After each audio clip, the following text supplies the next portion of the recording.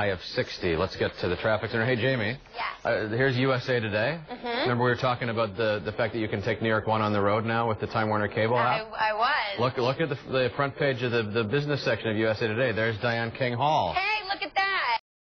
And I can report, actually, my boyfriend is in Florida right now, and he was watching earlier this morning. He said the quality is fantastic. I, I don't know why it's, it's, it's, a, it's a big thrill when you're on television to be in the newspaper. I'm not sure why that is. Well, of course it's a big deal. Newspapers are a big deal. You're you're the king of the Uh, that's true. newspapers in this town. Uh, that's true. well, we'll get to your morning commute now from wherever you're watching. We're happy that you're joining us. Let's get a check of the rails. Everything's on a close to schedule. Subways and buses are doing fine. Regional rail lines are in good shape. He's funny sometimes. 8.07 in the morning, and we begin with a problem on the Belt Parkway eastbound at Springfield Boulevard. Two lanes are blocked with an accident, and now we've got some big time delays to go right along with it. From JFK Airport heading towards Long Island, trying to get to the Cross Island, you're going to be sitting a little bit of extra heavy traffic than what you're used